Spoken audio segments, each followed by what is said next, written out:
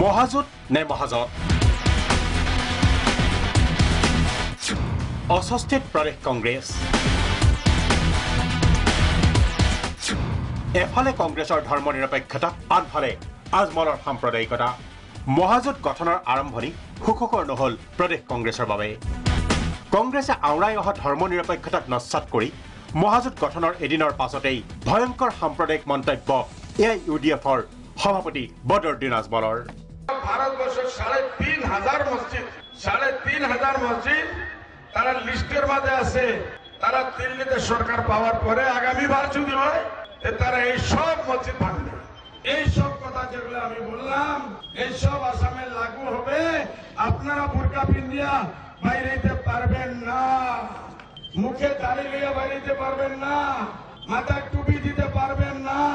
মসজিদে আজান দিতে কেৱল ইমানেই নহয় ভাইৰেল হৈছে আজমল বিৰোধী মন্তব্য কৰা ৰকিবুল হুছেইনৰ অডিঅ' ক্লিপ এই আজমলটোক বেছি উঠাই দিব নালাগে। আজমলটোক আজমলটো আমি ছাৰ কেইদিনমানৰ আগলৈকে আমাৰ পিছে পিছে ঘূৰি আছিল। এতিয়া সি কয় কংগ্ৰেছ হিৰ' জুৰিঅ' তাক বেছি নহ'লে সি কিন্তু ছাৰ গুৰু গোহাঁই নামানিব ছাৰ। গতিকে তাৰ লগত ডাইৰেক্ট এলায়েন্স কৰিম। আমি আমাক চিঠি লাগিব সি ক'ব পৰা হৈ গৈছে। আপোনাক আপোনাক এটেক কৰি তাক আপোনাক ছাৰ আমাৰ ওপৰত এৰি দিয়ক। সি পূৰা আপোনাৰ হেৰি কৰিব। আমি চবকে কৈছোঁ সি মূৰৰ ওপৰত উঠি গ'লে কিন্তু আকৌ দিগদাৰ। মহাজোঁট গঠনৰ এদিনৰ পাছতেই আজমল ৰকিবুলৰ এনে মন্তব্যই জোকাৰিছে কংগ্ৰেছৰ নেতৃত্ব। অস্বস্তিত পৰিছে প্ৰদেশ কংগ্ৰেছৰ নেতৃত্ব।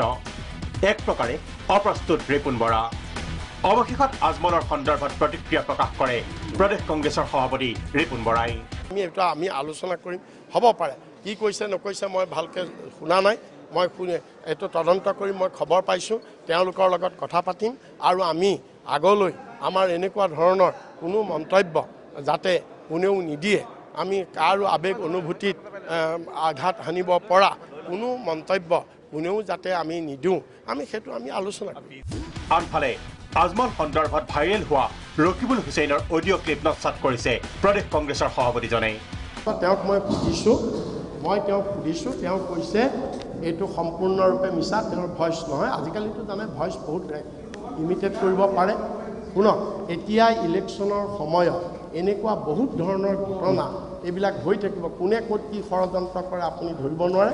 আমি তেওঁক কৈছোঁ তেওঁ এইটো অস্বীকাৰ কৰিছে আৰু তেওঁ চেলেঞ্জ কৰিছে। তেওঁ চেলেঞ্জ কৰিছে যে এইটো প্ৰুভ কৰক এনেদৰে এতিয়া মহাজোঁটত আৰম্ভণিতেই লাগিছে মহাজোঁট। পৰস্পৰ বিৰোধী মন্তব্যই জট লগাইছে মহাজোঁটত।